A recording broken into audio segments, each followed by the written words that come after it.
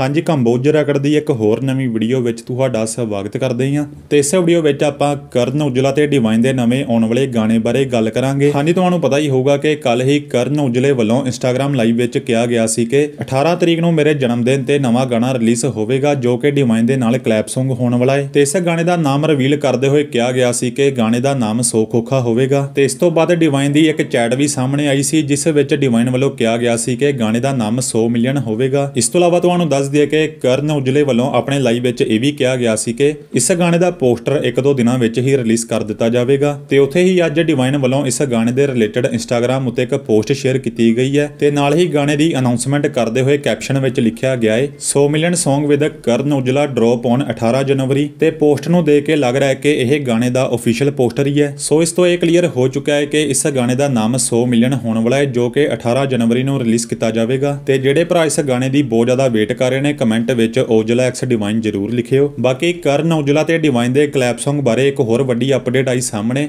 ਜਿਸ ਵੀਡੀਓ ਦਾ link screen ਉੱਤੇ ਦਿੱਤਾ ਹੋਇਆ ਵੀਡੀਓ ਨੂੰ ਜ਼ਰੂਰ ਜਾ ਕੇ ਦੇਖਿਓ। ਮਿਲਦੇ ਹਾਂ ਕਿਸੇ ਹੋਰ ਨਵੀਂ ਵੀਡੀਓ ਵਿੱਚ। Thank you